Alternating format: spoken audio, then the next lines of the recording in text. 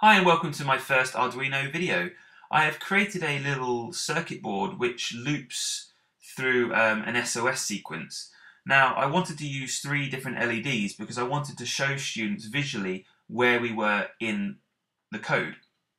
So on the first part of the SOS, on the first S, the blue LED flashes, followed by the shorter dash dash dash, which is the orange LED, and then the final part of the SOS, which is the red LED.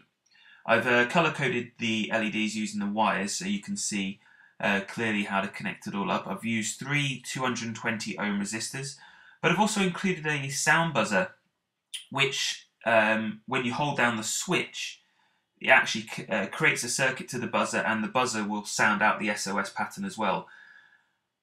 The outputs that I've used for this are, um, for the red LED it's 2, number 4 is the orange and 6 is the blue.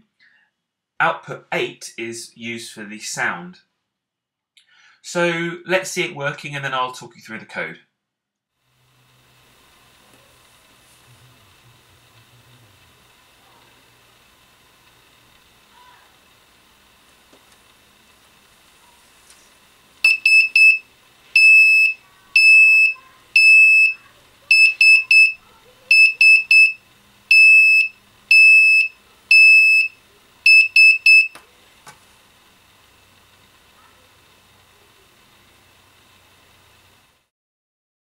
Okay, so looking through this code, it's actually really simple. I've borrowed heavily from the uh, Blink example, which is provided with the Arduino software. The first thing I do is I set up four uh, variables. I've got LED 1, 2, 3, and buzzer. And those variables are going to be used to help us identify the output locations on the Arduino board. I've set uh, uh the outputs to 6, 4, and 2 for the LEDs and 8 for the buzzer. So when we run the void setup, what we say to our, the Arduino board is set LED 1, 2 and 3 and the buzzer as outputs because by default they're set to inputs. So we use the pin mode function to do that. When we go into the void loop section of the code, we start our for loop and we're going to loop through this three times. We turn a, a light and buzzer on, we wait for about a tenth of a second and then we turn them off again and we wait a tenth of a second. That loops through three times, and once it's done that, we're going to have a delay of 500, which is the same as half a second.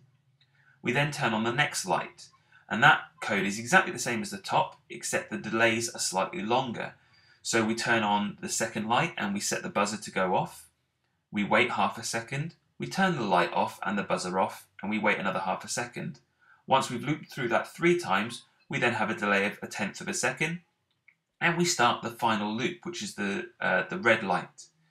We then loop through three times, we set the buzzer on, we set the light on, we wait a tenth of a second, we turn them off, we wait a tenth of a second. And we then, at the very end, have a half a second delay until we loop through right to the beginning again. And that's it. That's how you get it working. The actual switch is um, works because when you hold the button down, it creates a circuit which allows um, the buzzer to go off. And that's it. I hope you enjoy this tutorial. It's nice and easy. Um, if I was to extend this further, I'd probably introduce the idea of functions, um, you know, to kind of stretch uh, more able students a little bit more. So yeah, see you next time.